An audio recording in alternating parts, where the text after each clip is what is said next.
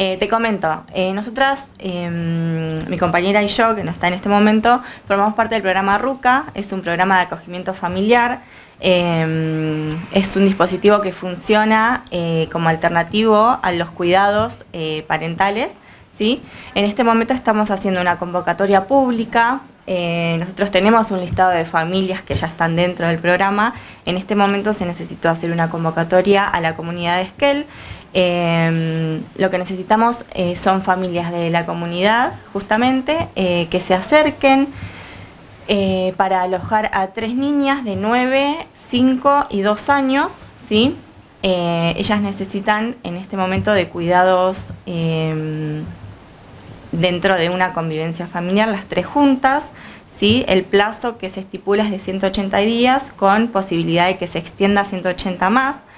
Eh, puede ser menos, pero eso no, depende de nosotras, sino que de lo que se eh, plantee en el juzgado. ¿sí? Em, bueno, un poco es eso, ellas necesitan un acompañamiento en este momento, es transitorio y es temporal, no tiene fines adoptivos, eh, eso es como fundamental para que la gente sepa y se pueda acercar. Eh, bueno, la idea es un poco convocar a estas familias que se acerquen al Servicio de Protección de Derechos de Niños, Niñas y Adolescentes. Eh, aquí funciona el programa RUCA. Eh, Hagamos una aclaración, ¿en dónde están?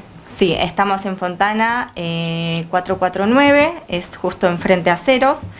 y después, si no, pueden comunicarse también por las redes sociales. tenemos Facebook y tenemos Instagram. Eh, Rucas Familias Cuidadoras se llaman, y si no el teléfono del Servicio de Protección que es 2945 65 76 83. Sí, deben ser mayores de 25 años, no tener antecedentes penales, residir en la ciudad de Esquel. Sí, son hermanas ellas tres. Ah, eh, sí, sí, por eso además de eh, garantizar la convivencia familiar es garantizar el vínculo entre ellas, entre hermanas. ¿sí? Es por eso que se solicita que las tres vayan con la misma familia. El llamado comenzó el jueves pasado de la semana anterior. En teoría era hasta ayer, pero como se difundió en los medios, eh, si no me equivoco, el miércoles, eh, decidimos extender hasta hoy, con posibilidad hasta el lunes. ¿sí? Em, la realidad es que nos solicitaron que sea un, llamado corto eh, porque necesitan resolver la situación lo antes posible. Em, pero bueno, también eh, para publicitar un poco el RUCA, eh, estos momentos de, em, de, publicidad están buenos, más allá de tiempo que se extienda o no este llamado.